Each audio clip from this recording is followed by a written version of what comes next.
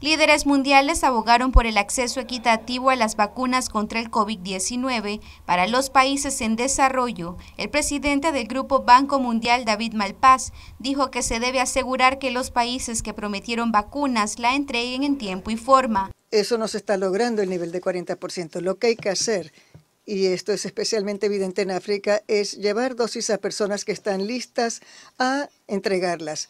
Hay mucha oferta, la producción está aumentando rápidamente en las economías avanzadas, pero hay una brecha entre las donaciones y la entrega o administración de las dosis, sobre todo en África. Lo que tenemos que hacer es asegurarnos de que los donantes, los países que tengan vacunas, cumplan con lo dicho y lo prometido, entregando lo que han dicho que van a entregar en las fechas apropiadas para que estas vacunas lleguen a los países en desarrollo. El Banco Mundial puede ayudar a una serie de ámbitos, tenemos financiamiento. En este momento tenemos un contrato en África que ha tenido éxito, que ha logrado llevarle dosis a habitantes de África. 250 mil dosis están ahora bajo contrato que se entregarán.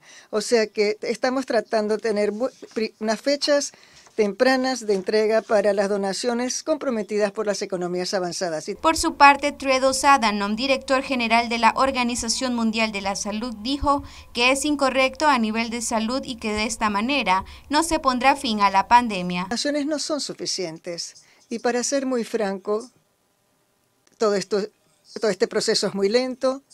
Además, es muy decepcionante que esté llevando tanto tiempo para que el mundo realmente se comprometa porque esto es incorrecto a nivel epidemiológico, no se le podrá poner fin a la pandemia, también a nivel económico es incorrecto porque la economía no se está recuperando y además moralmente esto no es correcto. Y debe haber un compromiso de abordar este problema. Como se ha dicho, en el caso de los países de bajos ingresos, el nivel de vacunación es solo 4%, mientras que 70% de las entregas son solo a 10 países. Esto es totalmente injusto. Esto no le pondrá fin a la pandemia y es de interés para todos los países, ricos, pobres o de ingresos medianos, ponerle fin a la pandemia. Y es por eso que de manera conjunta con mis colegas del equipo de trabajo estamos diciendo que será 40% para fines de año, esa es la meta, y 70% para mediados del 2022. Los países del G20 deben apropiarse de estas metas y hacer que sucedan, porque más del 80% de la economía les pertenece y el grueso de la capacidad de producción también les pertenece.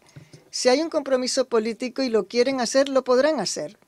Para Noticias 12, Gabriela Solórzano.